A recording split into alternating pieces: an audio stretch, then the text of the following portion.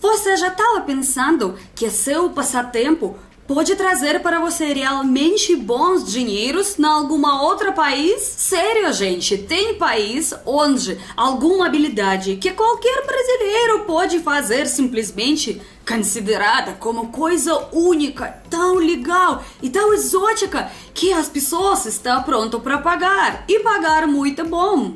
Olá, gente, tudo bom com vocês? Meu nome é Olga e sou russinha que estuda português. Assiste esse vídeo até o final e você vai saber ao menos oito possibilidades para trabalhar na Rússia para os brasileiros com realmente bom salário. Pode ser você nunca estava pensando para trabalhar na Rússia, mas você precisa saber que os russos realmente adoram a cultura brasileira. Desde o último século, quando as novelas brasileiras foram tão popular na Rússia. Tem outras coisas culturais brasileiras que é tão popular na Rússia também, mas vamos começar pouco a pouco. E mais uma coisa muito importante Frequentemente, as empresas na Rússia querem ter especialista exatamente brasileiro, exatamente do Brasil, para trazer até mais essa energia e atmosfera brasileira. Eu vou dar para vocês exemplos como os números dos salários atuais. Então, vamos começar. Primeiramente, professor de samba.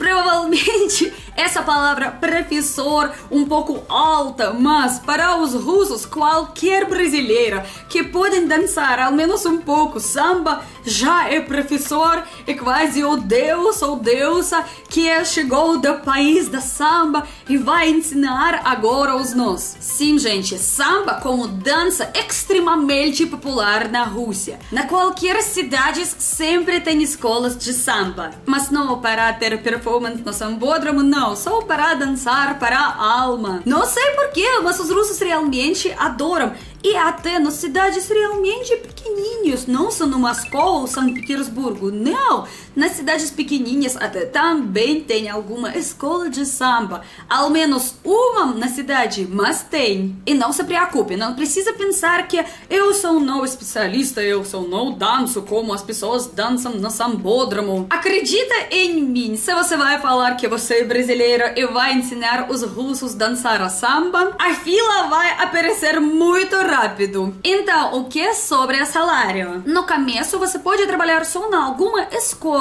que realmente sempre pesquisa exatamente pessoas do Brasil, como os professores. Se você vai morar em alguma cidade pequena e escolher para trabalhar lá, você vai ganhar 3, 4 mil por mês. Mas se você vai mudar para cidade grande como São Petersburgo ou Moscou, lá salário para os professores de samba nas escolas começa com 7 mil reais por mês. Eu não tenho nenhuma dúvida que todos os russos e russas vai ficar apaixonante por você e em breve você já pode começar a dar as aulas pessoalmente. Quanto custa uma aula de samba em Moscou, por exemplo? 140 reais por hora. Uma aula de samba? Hum, gente. Com certeza você vai ganhar muitos alunos e alunas, então boa sorte. Número 2, próxima habilidade, música da bossa nova. Gente, eu acho que depois do Brasil, o país que mais adora bossa nova é Rússia, gente. Desde eu cheguei para o Brasil, meus amigos russos sempre me perguntam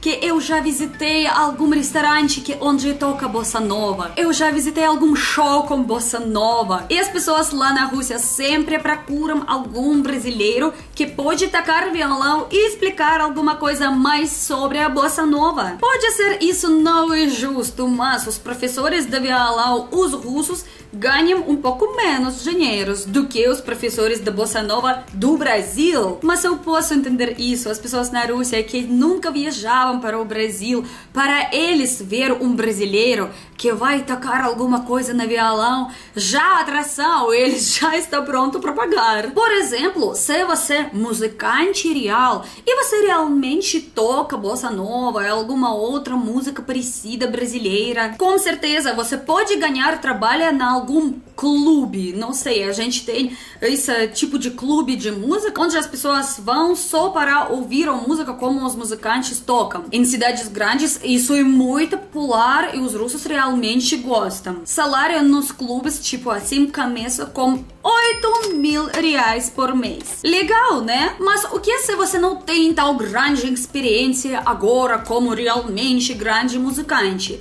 Mas você pode tocar simplesmente no violão alguma música brasileira. Os russos sempre procuram alguns musicantes do Brasil, quem podem tocar música brasileira nos restaurantes. E como brasileiro, é claro, você vai ganhar mais do que os musicantes russos que trabalham lá. Por exemplo, nas cidades não é muito grandes, pequenas. Salário dos musicantes nos restaurantes mais ou menos começa com 3 mil reais. Mas se você vai trabalhar no restaurante em Moscou, lá salário começa com 5.800 reais por mês. Tá bom, por exemplo, você não quer trabalhar no restaurante, mas você sabe como tocar violão muito lindo? Imagina como os russos vão adorar ter aulas do brasileiro no violão. Aulas individual de violão com professores russos começa com 30 reais, mas com professores dos outros países, especialmente do Brasil,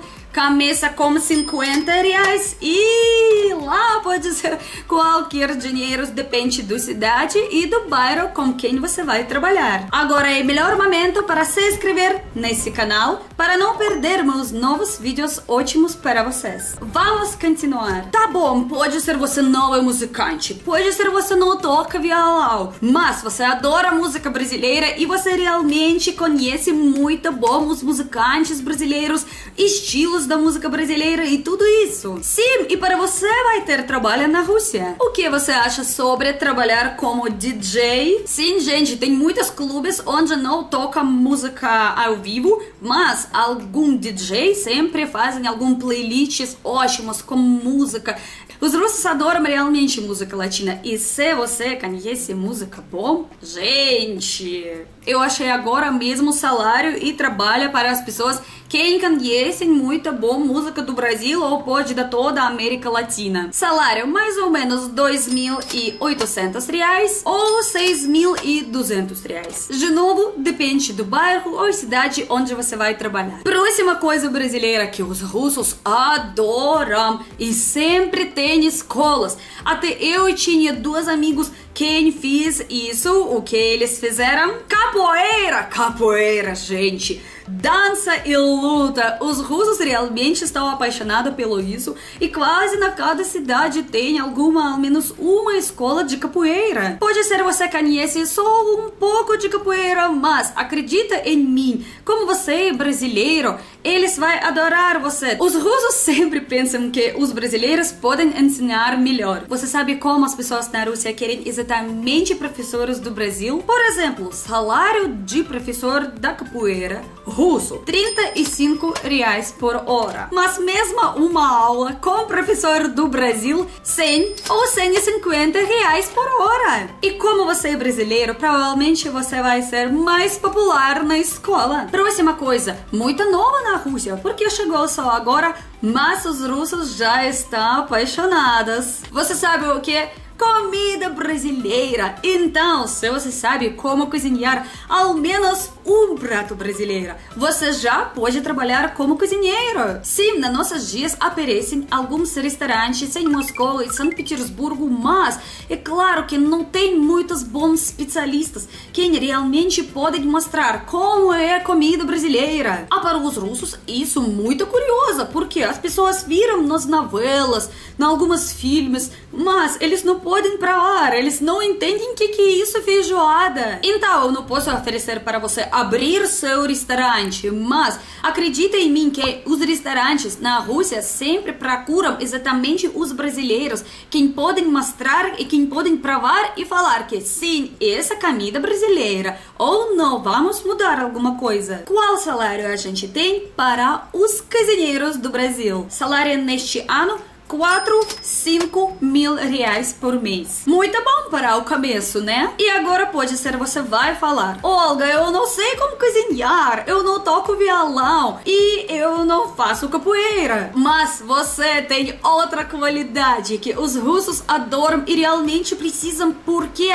não tem especialistas boas. Você sabe o que é? Você fala português, gente. Português. Vocês não fazem nenhuma ideia como é complicado achar realmente professor brasileiro em Moscou, em São Petersburgo, em qualquer cidade na Rússia que pode te ensinar o português, o português do Brasil. Você sabe como as pessoas na Rússia aprendem português do Brasil? Dos livros. Mas língua português do Brasil tão viva e tão rica e todas essas gírias, todas essas coisas com jeitinho brasileiro e claro, internetês. Algum brasileiro precisa explicar tudo isso como funciona. Calça os calças, as botas, as botas, carteira no carteiro, como os russo pode explicar isso para os russos. As escolas das línguas e as pessoas pessoalmente sempre procuram exatamente brasileiro para aprender a língua portuguesa. E acredita, nessa área você vai ter sucesso com certeza. Se você vai só chegar na Rússia e ainda não tem alunos, o que você vai fazer? Você pode trabalhar na escola. Salário médio na escola das línguas 6 mil reais para o professor por mês. Mas vocês sabem que seu salário depende de quantos alunos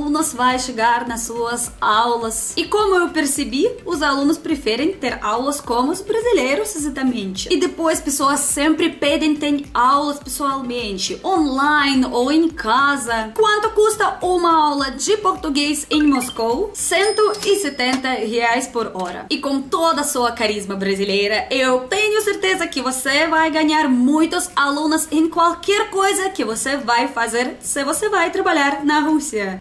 Meus queridos, a gente tem só uma vida e vamos provar todas as possibilidades. Então agora você conhece suas opções na Rússia. Inscreve-se no canal e deixa like e vamos encontrar no próximo vídeo, gente. Beijo no coração. Tchau, tchau.